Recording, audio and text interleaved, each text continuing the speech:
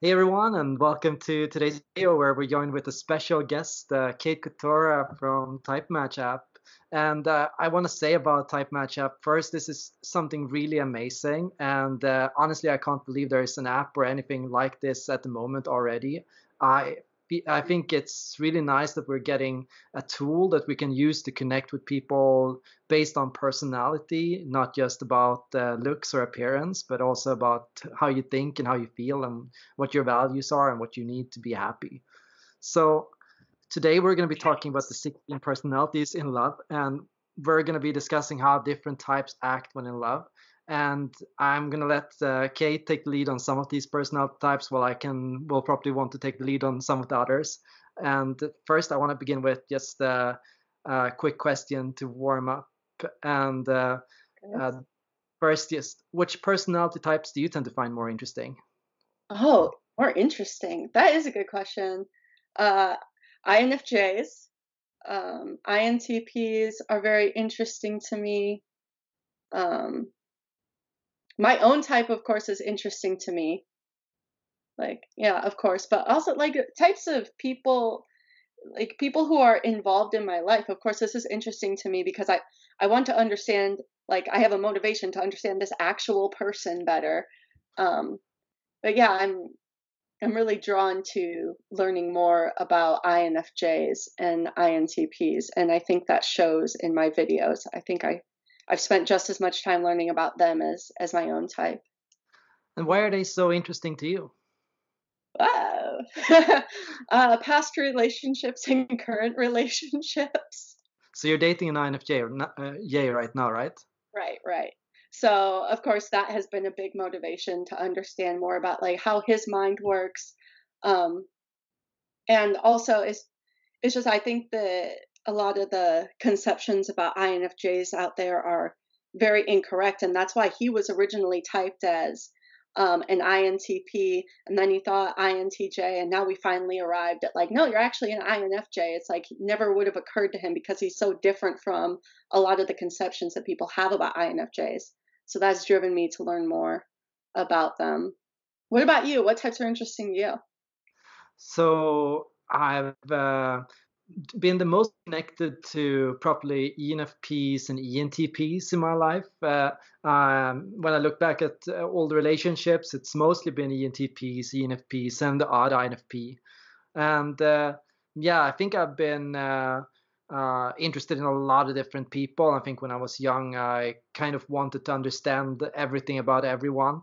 Uh, and I was more focused on other people's needs than my own. So I kind of uh, yeah, kind of dated without really knowing what I was looking for and more focused on what other people were looking yeah. for or what I thought other people were looking for. Uh, That's uh, interesting. Yeah.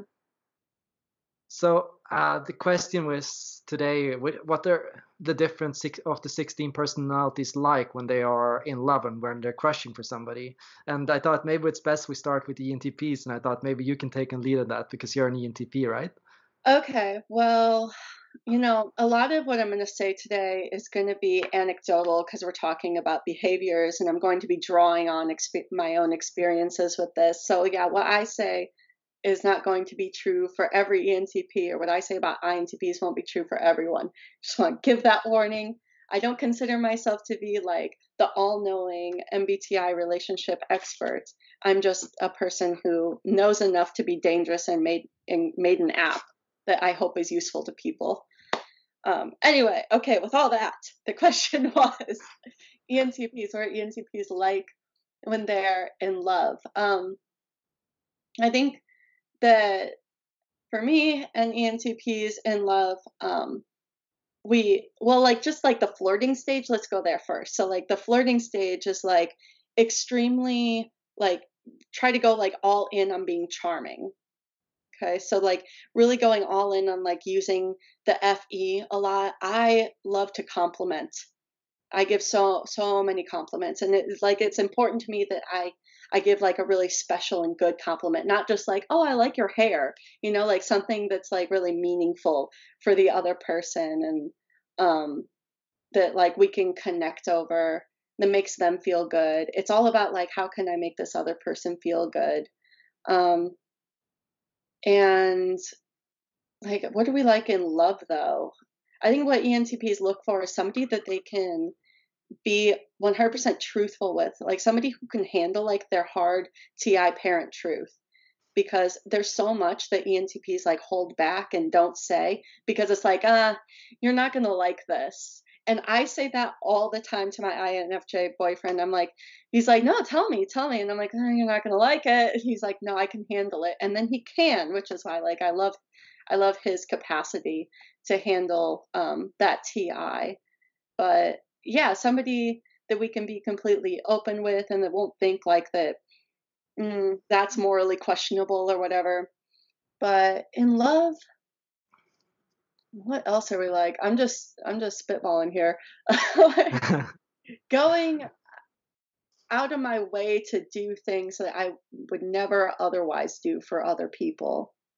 Like trying to like actually pay attention to the experience that the other person is having um because usually i just like that's out of my mind totally and i i do try i'm, I'm not the best at it don't always succeed but i i do give effort to it um and hmm i don't know do you have any input like let me let me try to think some more so I'm noticing you're going more into your feeling aspects when you talk yeah. about how you are in love. But well, isn't it also possible to love somebody with uh, the thinking functions? Like, uh, can you find that you are sometimes uh, prone to testing a, a, potential person? If you're interested in somebody, that you start testing, can they handle this? Can they deal oh, with this? Will they be able to yeah. Uh, handle this kind of thing for me? It's all testing.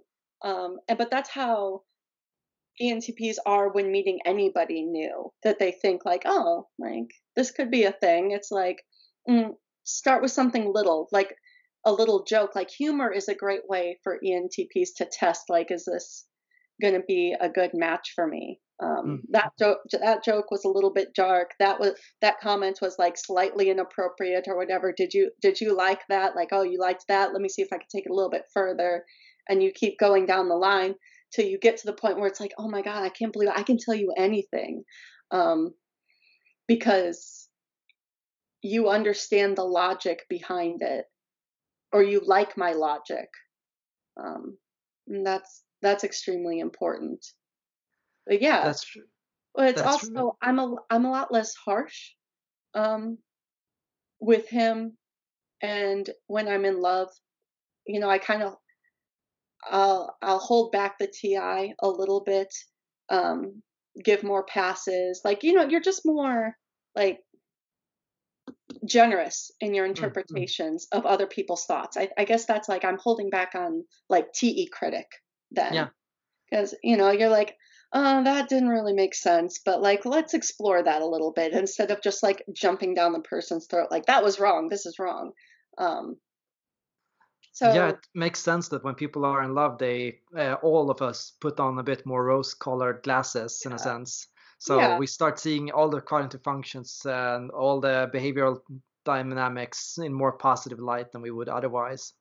Yeah, and I think um, you know, it eventually gets to the point where I can tell tell them like exactly as it is, but um, I always try to feed it back with that that fe. Like oh that was kind of harsh like but i love you. Um because like you know i'm gonna oh. uh, jump a little bit to infjs and that's uh, something i feel uh, i can probably contribute something as an infj myself infjs than entps to be honest like i yeah. think I, because it's like it's outside instead of internal to me i feel like it's i can see it easier better. to be objective yeah yeah so Okay, I want to tell you what I think and tell me if I'm right or not. Curious.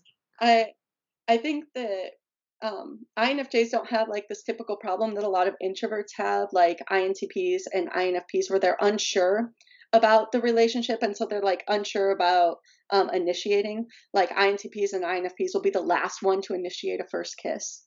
Like you can go on dates with that, like so many dates with them and it's like you can feel that like okay yeah. it's building up like come on and they won't do it and you have to just like finally like you I've have to that. i guess i'll do it because you're not going to take charge and kiss me and we need to get the ball rolling but I think INFJs are very good at getting the ball rolling with that because they can read your emotions so well.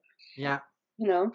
I think that's absolutely right. I think it's uh, because uh, we are uh, feeling judging and intuitive judging types, so we tend to uh, take the lead socially uh, and in groups. Uh, we are more likely to introduce ourselves to people that we don't know than other introverts can be. We are also more likely to, in when you're when you like somebody, to get more close to them and to really sit down with them one on one and to really make that time with the other person and to uh, really get to know them and what they think and what they feel. Because as an INFJ, you uh, want to get people. So if you're in love with somebody or you're starting to uh, take an interest in somebody, you become just more interested in getting to know them and how they work and how they feel. Yeah, yeah, I I love it. I love how um, INFJs are okay with um, initiating when they see that it's like a person that they are interested in. um, but it's it's really cool because I I found that my my INFJ boyfriend he understands my feelings much better than I do. Um, so he can even read them and like detect them before I even notice that this is like something that I'm feeling. And um, he he knew about my feelings for him before I knew about them, even. and uh, he I don't know. Yeah, he he knew that I liked him even before I knew, and that was that was amazing.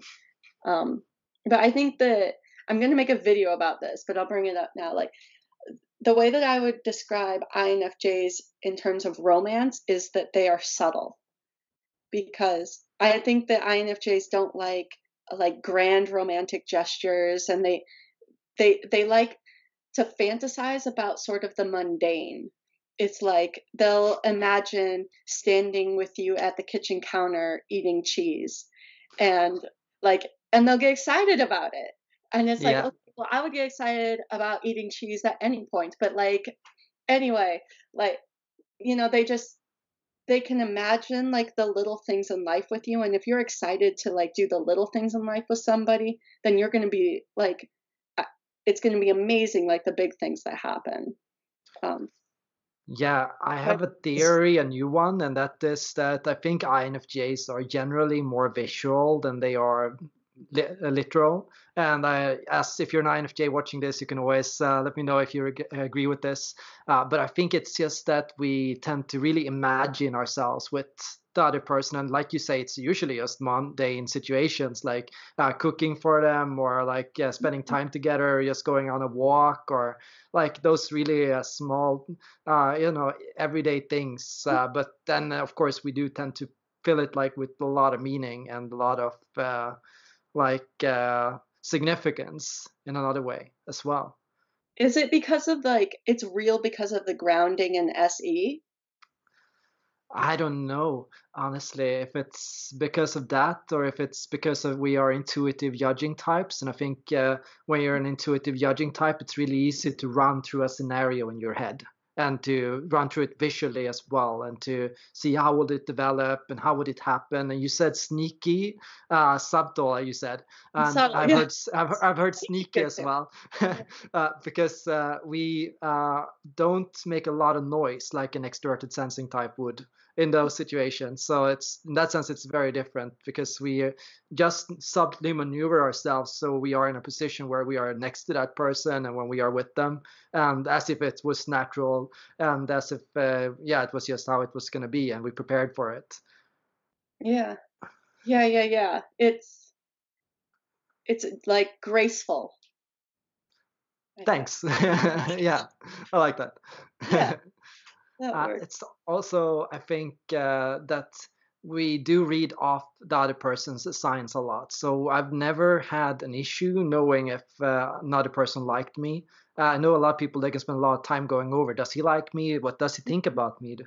And so on. But for me, it's uh, I kind of just see it uh, when I talk to the other person that this person must like me and must be interested in me just as I am in them and yeah. I've always had a good sensor for that. Yeah, yeah.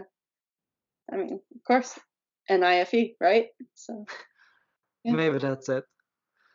uh, we can move quickly to INTPs if you like, and uh, wonder what do you think about INTPs and love? Uh, INTPs, okay, well, like I said, they do have this problem of like being unsure of the other person's emotions, and they they are really very cute when they're in love, though, very very cute because um, I think they they use their NE a lot to try to relate um, because the FE is so low and then the other functions are introverted. This is just my my hypothesis about like how it works for them because I know INTPs will do a lot of things like they'll like they'll try to initiate with you in like little cute ways like sending um, a, a funny meme or like a ridiculous picture of their foot.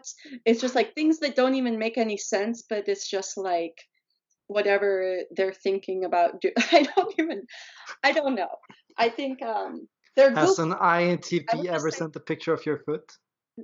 Okay, well, I know INTPs that do this. So, you know, um, I just huh. think they're a little bit goofy in love um, because they're they're trying to like get your attention and relate, and it's not.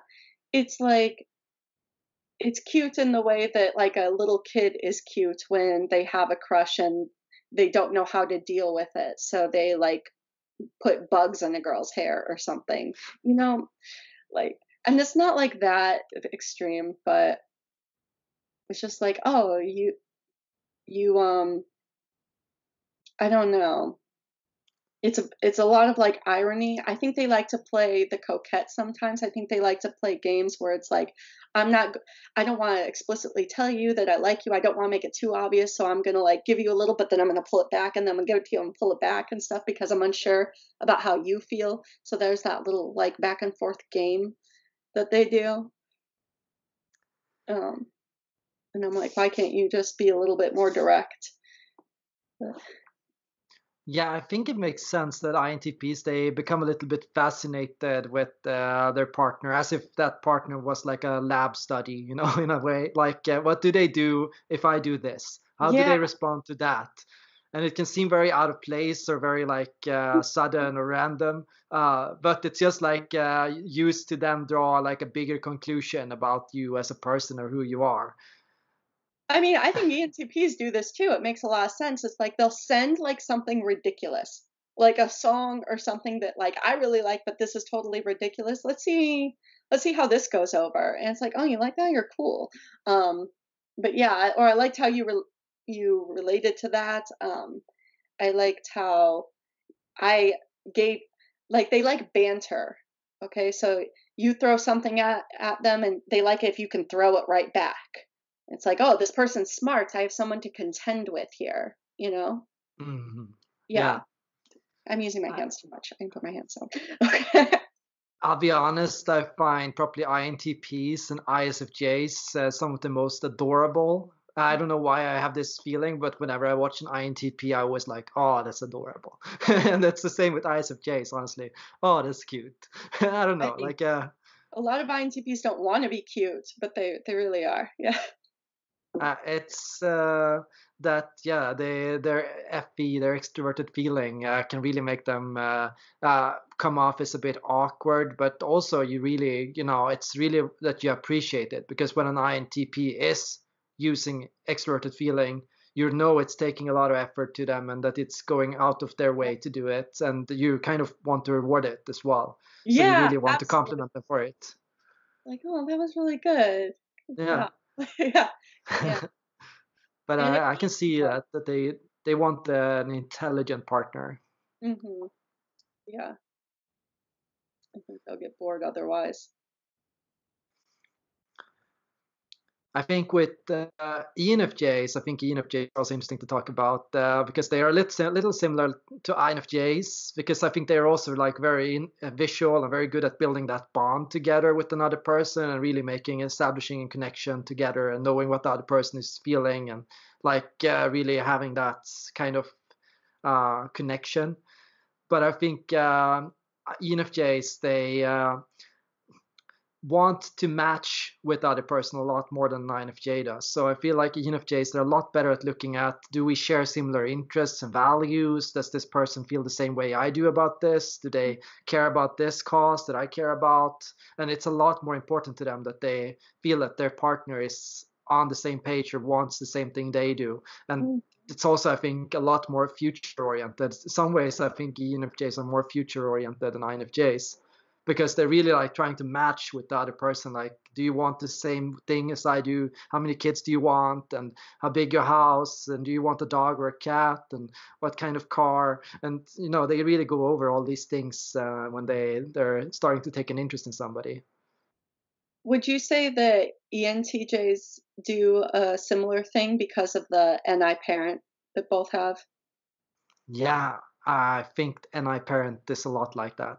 Yeah, you have to want the same things. I, I talked about this in the video I did about like arguing, how people argue with their parent function. I said like if people break up and they're like, we just didn't want the same things, so it wasn't going to work. Like that sounds like an NI parent um, that's doing that.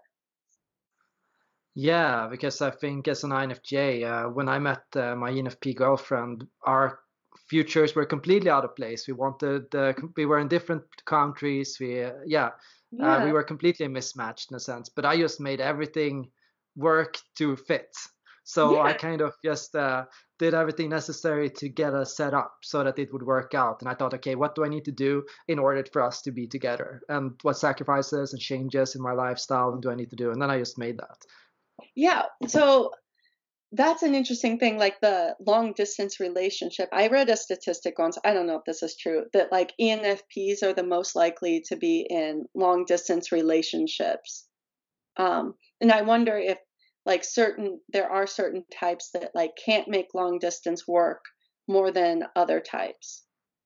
I think definitely some types will do better with long distance relationships. I think intuitives in general will do a little bit better than sensors yeah.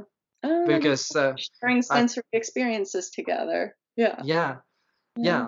Let's talk about the sensors a little bit. Uh, do you have any sensor you would like to talk about in love? Um, well, you can start off and I'll ping pong off of it. It's fine. Yeah, I could always jump to the ISFJ because I do know a lot of ISFJs, uh, and uh, uh, close ones or families members and yeah yeah distance family members that have uh, that type. And i what i've noticed with them is uh, instead of you know this interactive intuitive thing that we talked about with infjs what i see a lot more is like uh, does this person fit in with my family or community? And do i fit in with their family and community? So what i notice is immediately family becomes a lot more important. I know family is very important in the us already so it's a bit cultural as well. But also just you know uh, will he enjoy having a good conversation with my mom or dad? And uh, how will their families work if they meet? And like really wanting to have a shared sense of our blending culture yeah that is fascinating. Okay. it's true. It's true. And it's like, it's kind of like, oh, yeah, of course. Um, but it's so like, for me, that is an enormous stressor. Like the, like trying to integrate somebody into my family and somebody trying to fit me into their family. If I don't fit in with their family, I don't fit with them. It'd be like, oh my God, that's, hor- that was horrible. I can't think of anything worse for a relationship for me. which sounds bad, but it's like I don't know. I'm more just about like just you and me. Um, but yeah, that makes a lot of sense, and I've heard things like that. So it makes a lot of sense that they would need to have like a shared um, faith too. Yeah. Maybe like if like religion is important in their life, you yeah. need to have somebody who's that same religion because you have to continue with that, and that needs to all be harmonious. Um, yeah. yeah, it makes sense their their past needs to be in harmony s-i-f-e right yeah, yeah.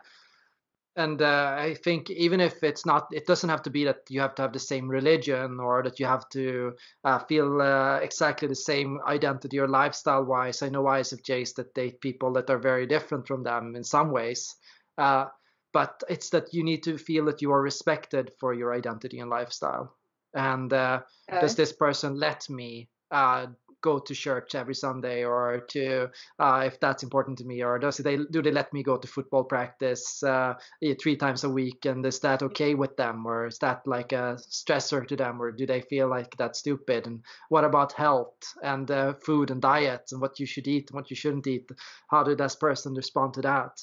Of course, they're ISFJ still, so I think ISFJs they still spend a lot of time really trying to bond and to try yeah. to work out differences. So I I can see a lot of ISFJs dating people of opposite religions or uh, mm-hmm. different values because they can still appreciate the challenge of trying to find uh, connection and okay. understanding. Yeah. And what what do they like when they when they flirt?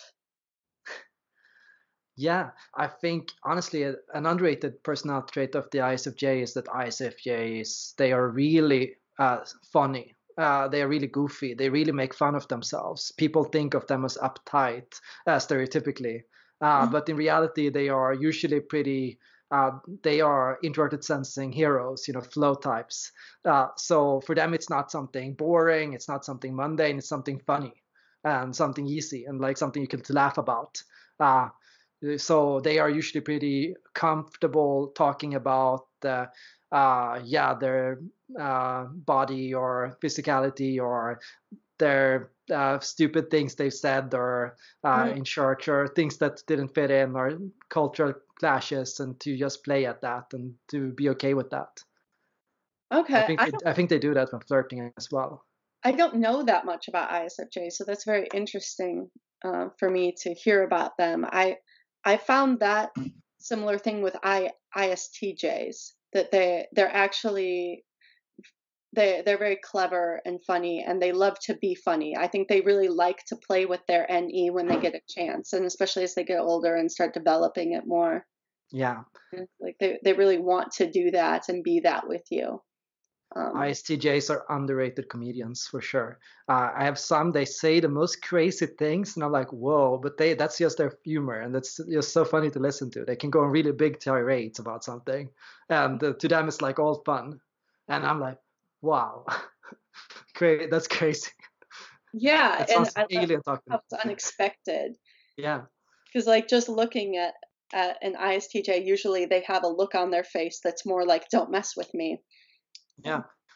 I can give a funny anecdote about an ISTJ and love, and uh, uh, yeah, it's somebody in my close family, so I do know a little bit about that story. And it was really he had had a checklist for the ideal partner. He had written down exactly what kind of relationship he wanted, and all the details, like how like how many uh, cats they should have and what kind of cat, and like everything was like really uh, written down as a long list. And he just went through it with he went through it uh, with his uh, yeah partner then at that time when they met to make sure yeah you check this you go you want this right? And this is okay this is something you think is good right? So they, yeah. he really went uh, over that long list and she was like yeah and she was like yeah that sounds good to me and she had no opinion really. So what that was, was perfect. you know? Uh, isfp so okay. that was uh, um, uh, funny, undis- unexpected type. ISTJs and ISFPs, they are a very unexpected pairing to me. Mm-hmm.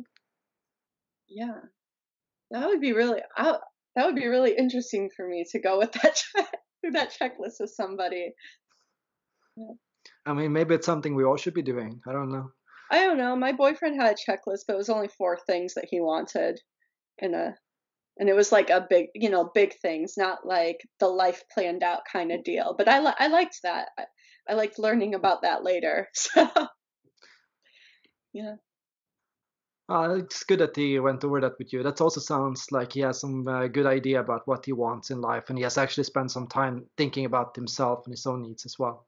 Yeah, yeah. I, I mean, you have to be open-minded as far as like your your checklist of like the perfect mate or whatever but i think it's a good idea to make one even if you're not going to like stick exactly to it because it's like you have then you have clear in your head what what you're actually going for you know yeah um just get it down to to know what yeah. you want I think maybe ESTPs are funny when dating. What do you think ESTPs are like in that situation? Mm, I think well they're similar to ENTPs in that they have like the the TI and FE, but I think they're they're I don't want to say that. I don't want to use that word. Let me. I don't want to use the word socially adept. More socially adept than ENTPs. It's Um, true. it's Sorry. true. I didn't want to call. I didn't want to call like the other ENTPs out there like not socially adept, but um, yeah, they're they're less eccentric. So, um, but I think that ESTPs are typically pretty flirtatious and pretty like they're typically pretty smooth.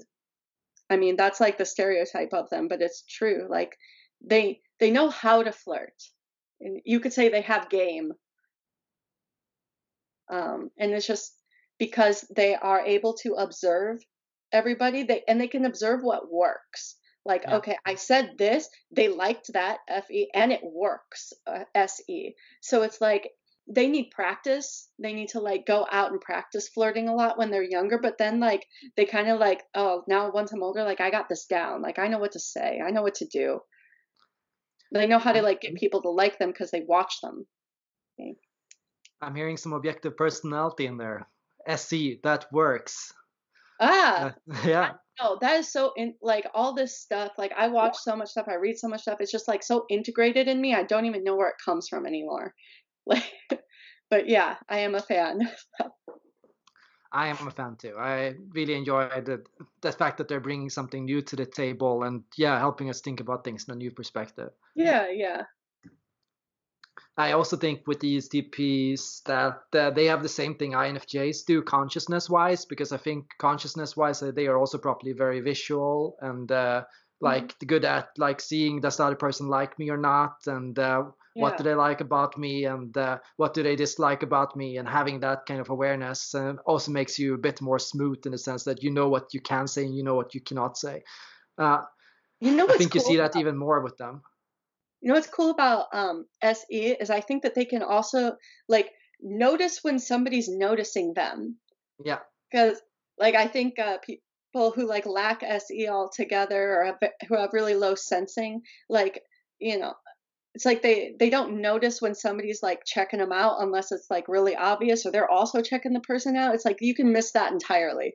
yeah. You know, and be like, if that guy was checking you out. Like, oh, was he? Like, um, Oh, and the oh. Will see that. I will only see that if it's a person I'm already interested in. Yeah, Otherwise, it will go completely over my head. yeah, yeah. Well, lower SE, but um, Yeah. that's just a hypothesis. But I would think it would work that way. I think it works that way. Yeah. I think uh, with the ESTPs, what people also forget is with exerted sensing is it goes both both ways. While you know that ESTPs they can they like to show off from in front of other people and to show how strong they are and capable they are. They Yeah. also like to see how capable you are, and they really like to watch how you, what you say and how you do things. And uh, uh, so there's they really do observe you a lot and give you a lot of attention. I think if you are looking for attention from a partner, I think an ESTP or ESP is an underrated choice. A Mhm. person who will listen to you, see you, and pay attention to your life and what you're doing and your mannerisms, your feelings. Like they, they really vibe off you very Mhm. well. Yeah, I did find um, ESFPs to be very attentive. Yeah. Yeah. I don't know why that sounds like it's not like the best thing. It's, yeah, it was great. They're super attentive. like anything um, that I needed in a relationship with an ESFP, they were happy to like try and help me, like um, whatever I was going through, or like you know, like physical, practical things or whatever. Like super happy to try to help out. Like yeah. Um, and uh, yeah, ESFPs I think they they want to just make their partner happy. But my Yeah, my yeah. relationships that I've had with ESFPs were always like very centered around like doing.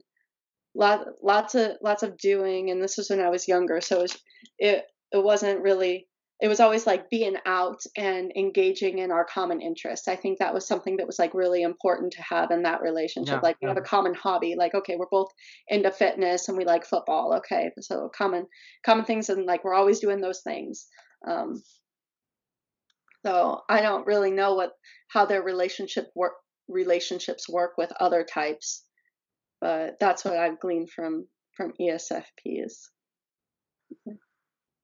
I feel we're not going to have the time to talk about every single personality We're type, but there's one last type I would like to round off with, and that's the INFP personality type. It's Oh yeah. uh, the personality type that watches my channel the most already, and oh wow. yeah, I really have so many INFP supporters uh, that are yeah just so amazing in the comment field. So I really want to end this with uh, talking about them as well.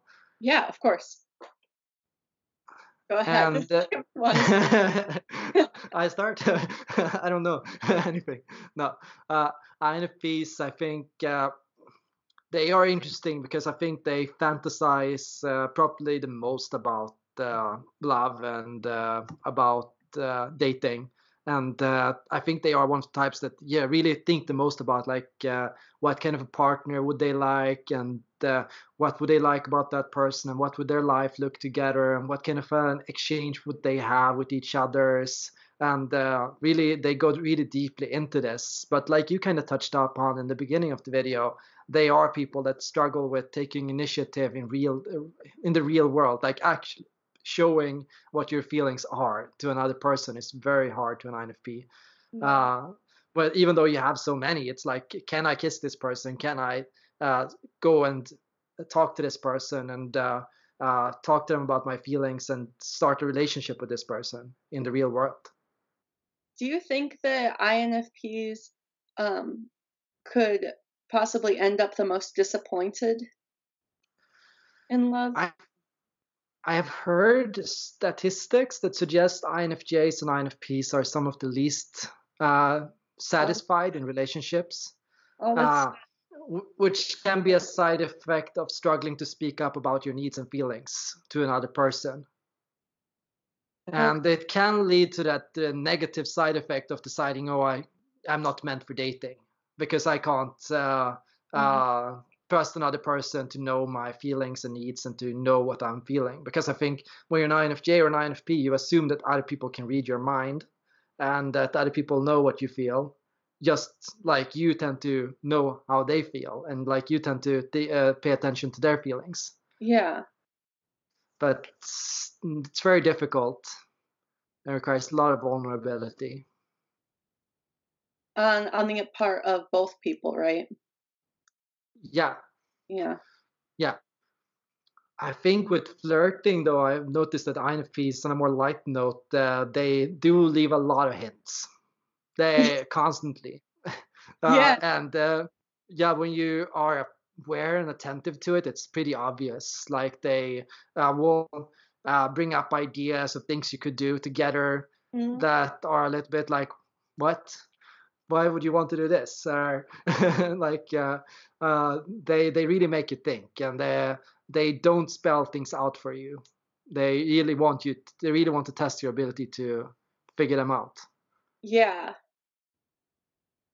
Can you understand? About, like a specific example, like a, a specific, I don't know, experience I had with um, an INFP, and he was dropping tons of hints, but I still like I didn't know about typology at that point, so I wanted to see like how long can I make him go before he initiates, Hmm.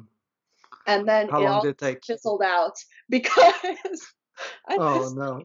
playing this stupid game of like, hmm, you know, you like me and I like you. Let's see how long you can take it. but he was dropping hints like all over the place. Like, and I was just like, no, I'm not gonna do this. That that's dumb. I'm seeing the skeleton on a bench uh, mo- uh, meme now in my head. yeah, yeah, that was so dumb. but yeah, it is like they're not gonna spell it out for you, but if you pay any attention at all, it's quite clear. Yeah, and if you are willing to play along with an INFP's fantasy, you can have some really amazing conversations. Like if you really go on with their hints and really give hints back and really have that interchange, because I think that can really get an INFP really excited. Like if you start like really uh, throwing out feelings and ideas and uh, like things you could do together and really start like building that, they can really go big in their head about a whole situation. Yeah. Yeah, that's very sweet. It is. Mm. So uh, I want to end with a question for you, more about your oh. app.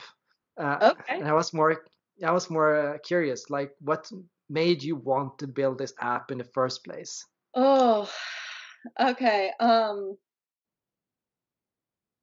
it's a complicated question because I feel like I'm supposed to give like the type of answer where it's like, uh, I just I felt like like really strongly about this and this is my passion and I want to help other people and stuff, but it's really like I'm really into MBTI and I wanted to build an app. I've always I've wanted to be an entrepreneur since I was like 20, but I didn't know like where specifically to channel that. It's just like someday I want to have a business. Um, and it just all kind of came together perfectly like that. I just enjoy building it. That's why I built it because I just like building it. I like creating a system and I think mm-hmm. it's useful. I built it because people want it.